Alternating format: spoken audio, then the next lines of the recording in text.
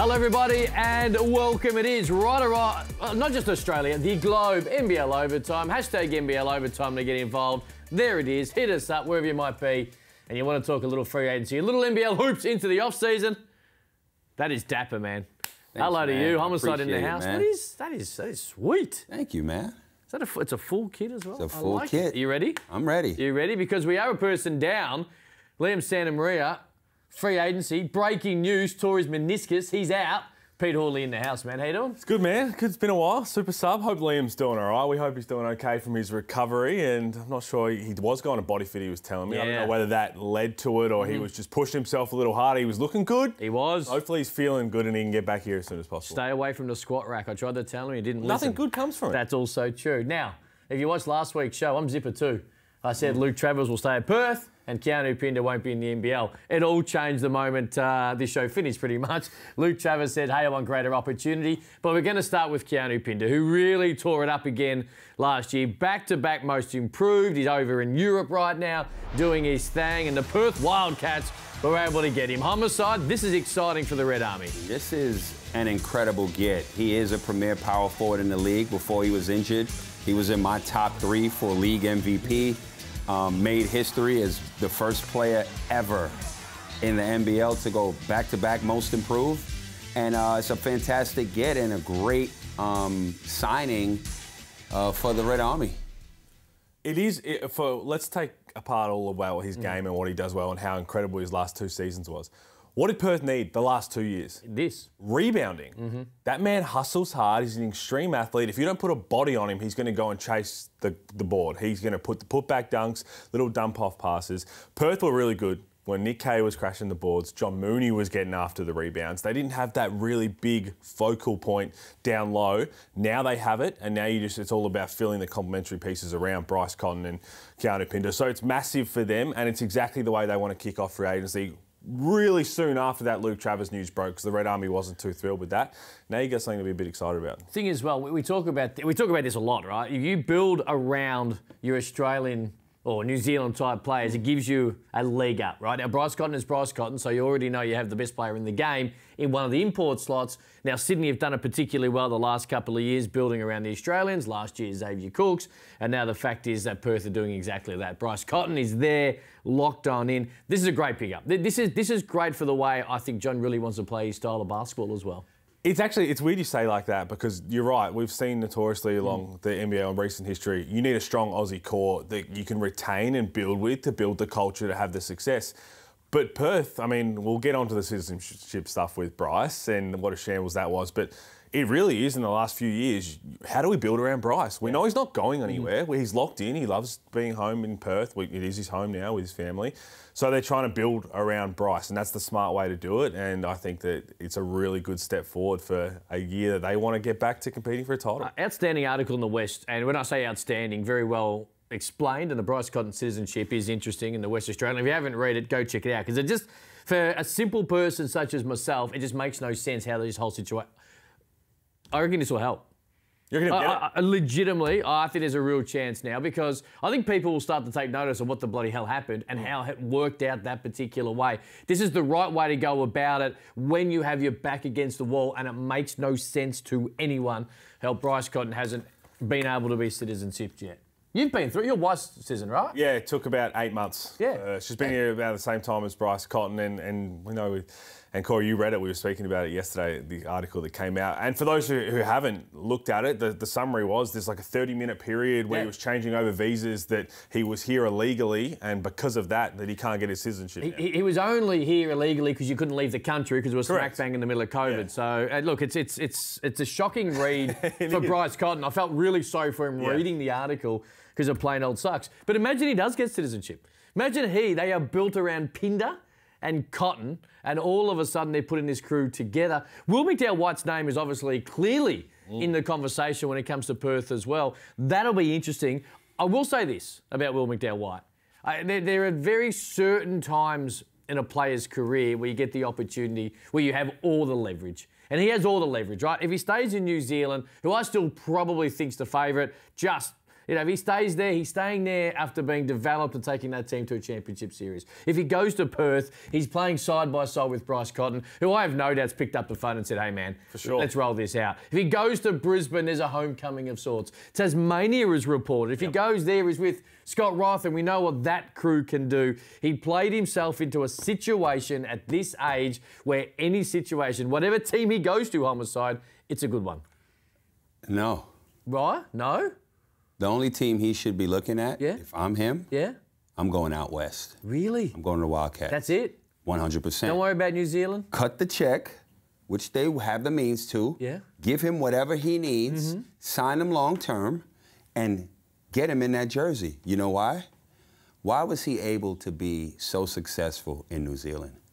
Who are the biggest two ingredients that he had? Barry Brown and Jarrell Brantley. Mm-hmm. Okay, so you put him with Perth. Cotton and Pinder. Mm-hmm. Okay, and who do they replace?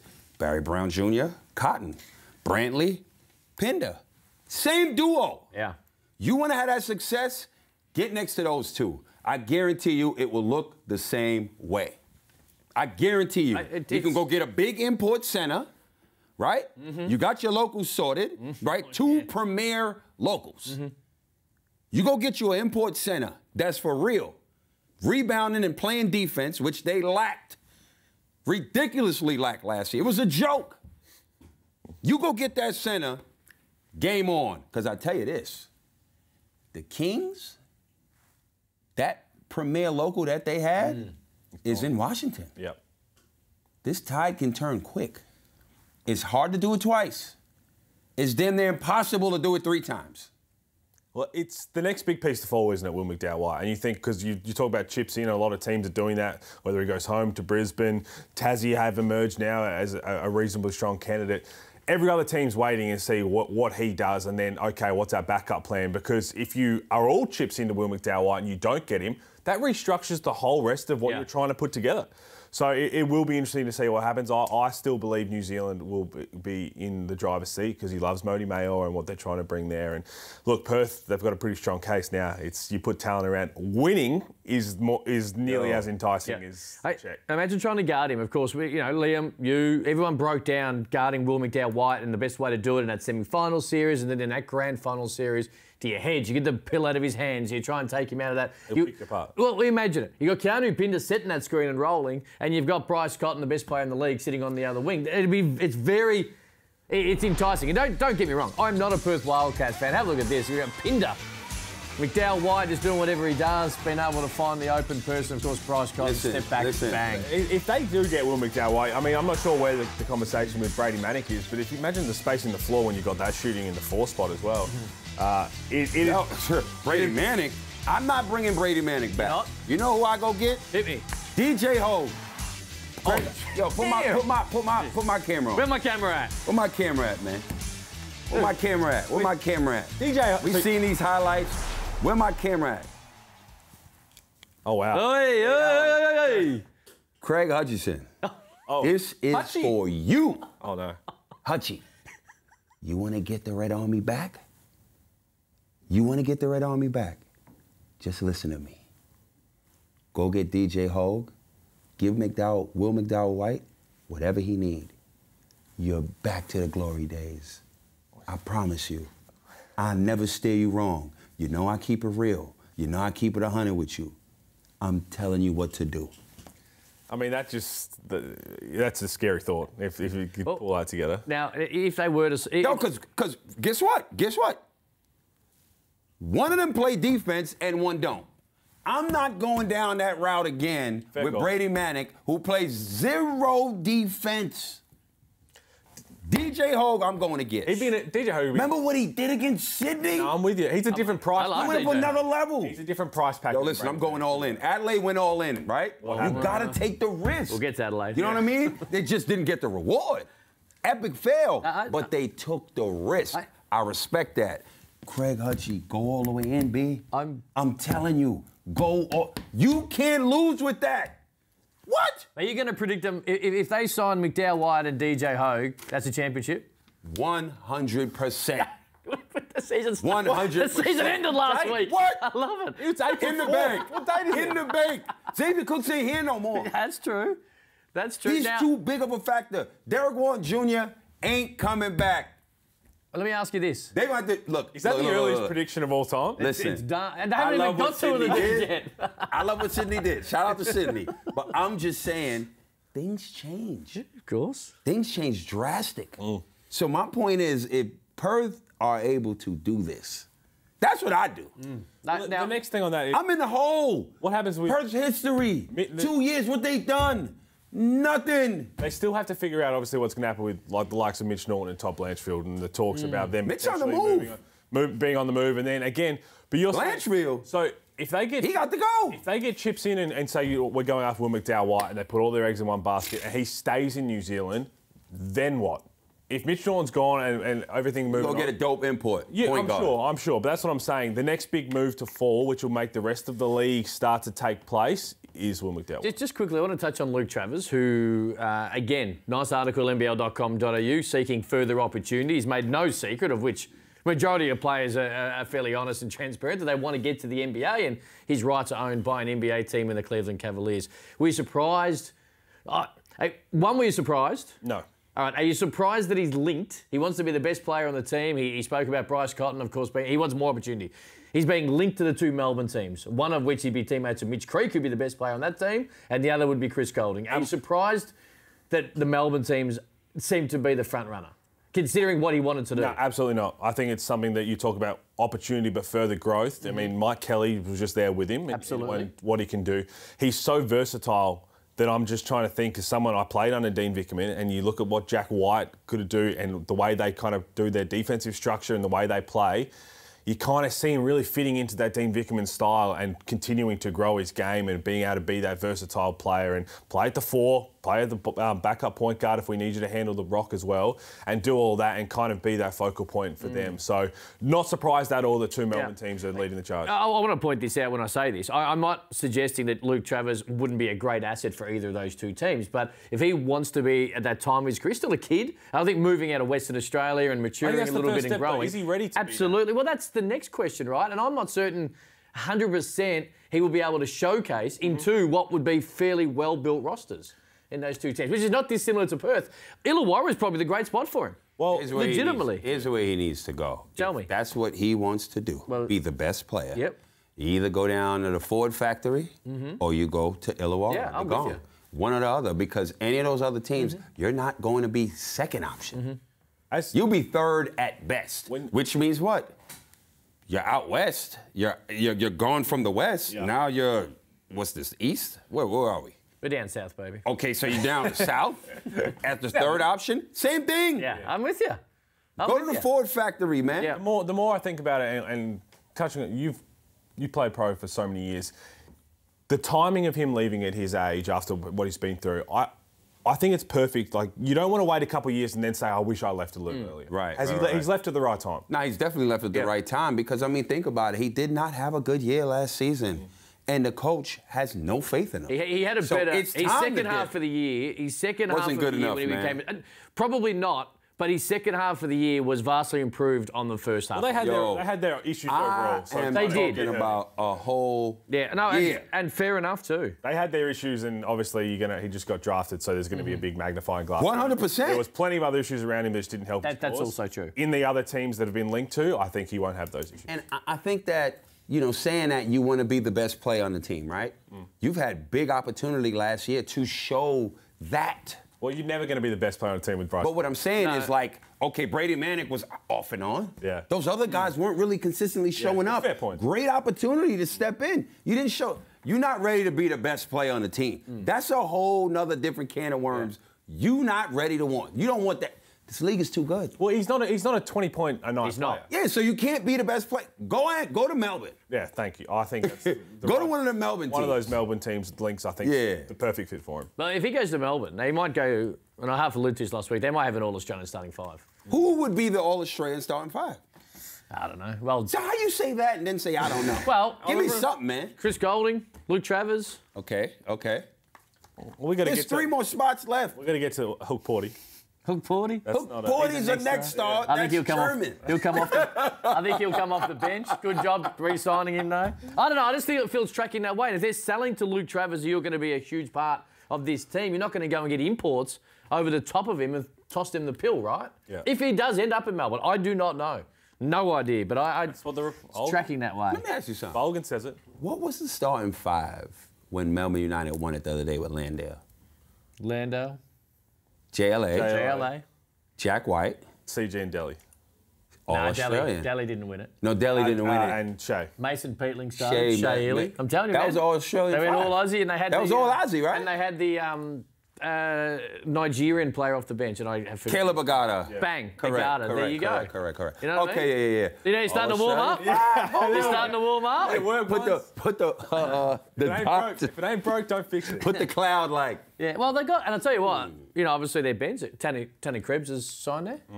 So there you go. Okay, It's a okay, nice- okay, okay. Quick break. Plenty more NBL overtime next.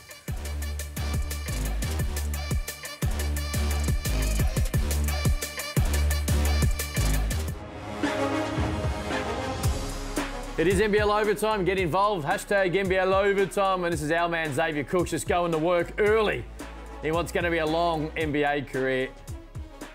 He looks real good in the Wizards jersey, but it does now open up the conversation. You made the perfect point a couple of months ago about hey, if Xavier Cooks ends up in the NBA, the right guy to replace him is Keanu Pinder. Continue to do build around the Australians. That's now off the table. Sydney got a lot to do, homicide. Wh- Where do you, what do you focus on if you're Chris Pongras and, and co right now? Well, as I said last week when he was on the show, I'm a fan, and he gets it done. So it may not be a local to fill that mm. spot. He- Plenty imports, plenty imports you can go get. And as a matter of fact, Here we go. I got a list of names. Oh, hello. Here we go. Don't worry about four or five positions, but here's just the names: Hassan Whiteside, mm-hmm. Dwight Howard, mm-hmm. Tyreke Evans, maybe Demarcus Cousins, right? Trey Burke, Isaiah Thomas, Lance Stephenson. I'm just giving you some names of some NBA stars who are no longer active in the NBA. Mm-hmm. Now, there's a few reasons guys aren't active, right? Some guys are at a certain age. You know, the NBA's gone younger. So, in terms of those gentlemen's names that I just named, they might be considered a dinosaur in the NBA that doesn't mean these guys can't still go at a high level. Sure. Right? Hassan Whiteside's in Puerto Rico playing. Dwight Howard went to Taiwan, as we know. Tyreke Evans is in Puerto Rico. That league, the biggest selling point again is do you want to get back to the NBA? That's all you ask these players. Come here then. If you if the answer is no, well, end of discussion. Yeah. But if the answer is yes, this is the proven ground for an opportunity to come here, you kill and do work, you'll be right back there. That's all you got to do. And when you post this, we spoke this yesterday. The those players he listed, it's not all about money right now. No. it ain't. They, they, they, they got the bread. And you still you're still going to get paid hands. Out of all those names, if you're talking about Sydney, the one that I would be going after, if- just over those names, is Trey Burke, because they Bucket getter. have had their success with that elite import point guard, Mm-hmm. Jalen Adams, Derrick Walton Jr. If, the, if you can't get either of those two, you got to go down that same path. I have absolutely no worries in the world with all the pieces moving around that, Sydney won't put together another.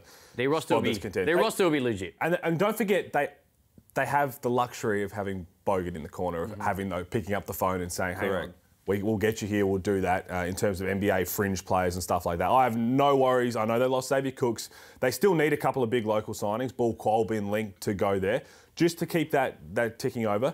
No worries at all that they'll still be contending.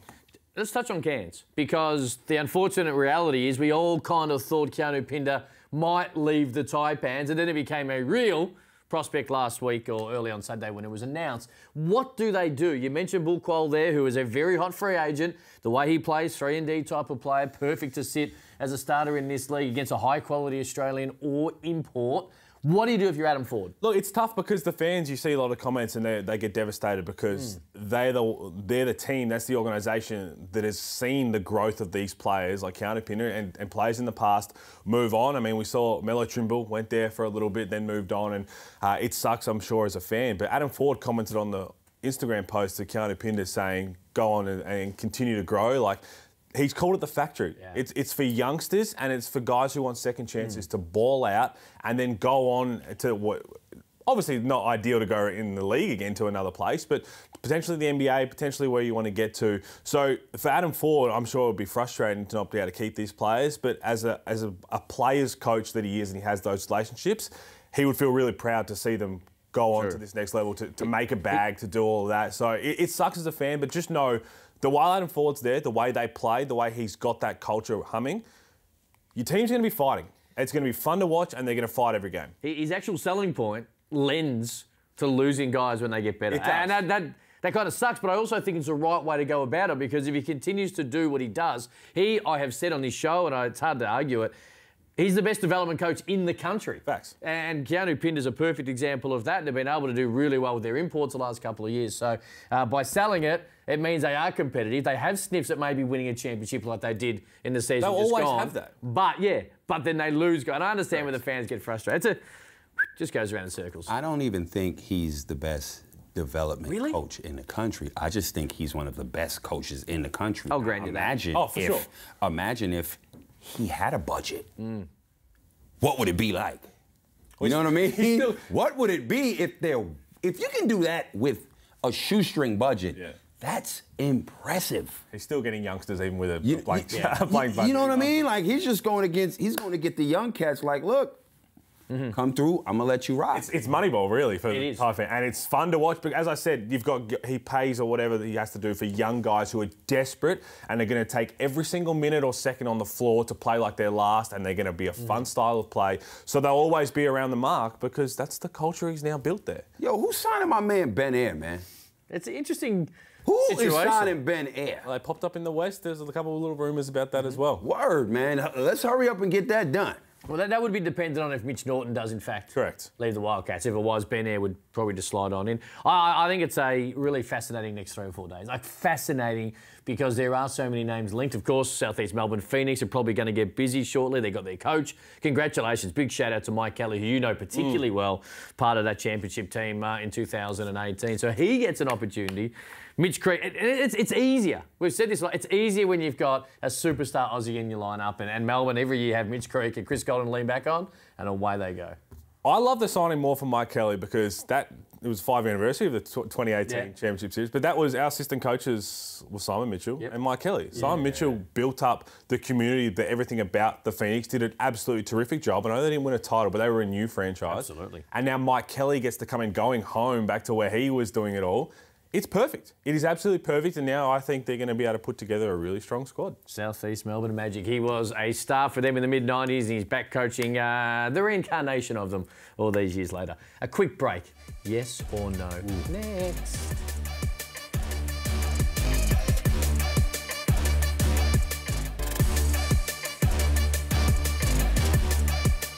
NBL Overtime is what we do, and that's how you get in contact with us. Hashtag NBL Overtime. All our socials. Yes or no? Are you ready? Let's do it. No stinger. Still No, stinger. No, no stinger. Still no stinger. Can you believe it? They ga- they're going to give one. to me. Absolutely. Absolutely. Hey, is Rhys Vague hugely underrated pickup? Uh, yes. Should a team look at Mojave King? No. Will Ryan Brockhoff be at Phoenix? No. I loved your post about you know the the imports and all the rest of it, but did you really have to do a topless? Yo, let me tell you what happened.